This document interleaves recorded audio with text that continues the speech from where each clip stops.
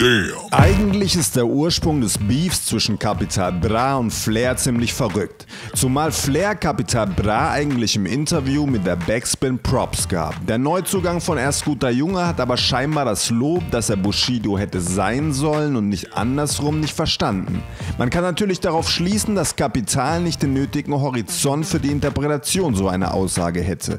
Für viele liegt der Grund jedoch in den Substanzen, die der Berliner Rapper in seinen Texten immer wieder thematisiert thematisiert. So schlussfolgerten viele, dass Kapital Bra schlichtweg zu viele Drogen konsumieren würde und dies seine Psyche und sein Auftreten in der Öffentlichkeit veränderte. Bereits ehemalige Freunde und Kollegen rund um Team Kuku äußerten sich schon diesbezüglich. Bushido erklärte zuletzt jedoch, dass Kapitals Aktionen gegen Flair den Zusammenhalt im erst guter Junge Camp beweisen würden. Nachdem Kapital Bra Flair im Rahmen einer Videoansage drohte und ihn als Hund bezeichnete, Seite meldet sich jetzt der Maskulin-Chef mit einem gut gemeinten Ratschlag für Kapital und vor allem dessen Umfeld. So schreibt Flair via Facebook, dass die Älteren in Capis Team sich um ihn kümmern sollten, da die Aktionen der vergangenen Tage für ihn klar auf seinem Drogenkonsum basieren würden. Flair hoffe, dass er sein Leben auf die Reihe bekomme und er seine Karriere nicht weiter kaputt mache. Er fände das zudem sehr fahrlässig und zwar von allen. Damit meint er sicherlich auch die Fans. Der Beef schlägt aktuell extrem hohe Wellen und so ist es ein Top-Thema, teilweise auch über die Hip-Hop-Medien hinaus. Man solle so eine kranke Person nicht noch im Verhalten bestärken.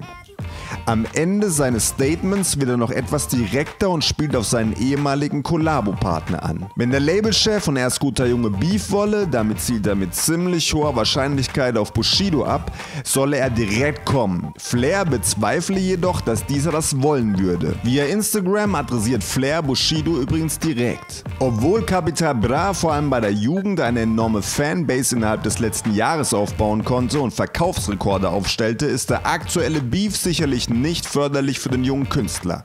Bereits in der Vergangenheit machte Capital Bra ziemlich merkwürdige Business Moves.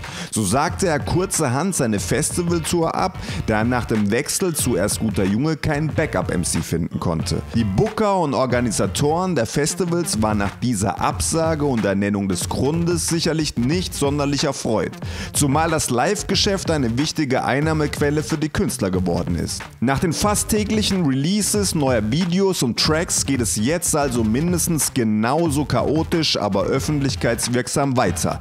Es wird sicherlich nicht lange dauern, bis Capital Bra oder das erst guter junge Umfeld auf das Statement von Flair reagieren wird. Übrigens hat Miami Yassin jüngst auf den Seitenhieb von Flair auf Gänsehaut reagiert.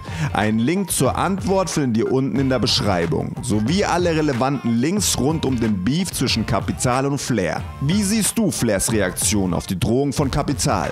Denkst du, er hat recht? Und wird es zu einem neuen öffentlich ausgetragenen Beef zwischen Bushido und Flair kommen?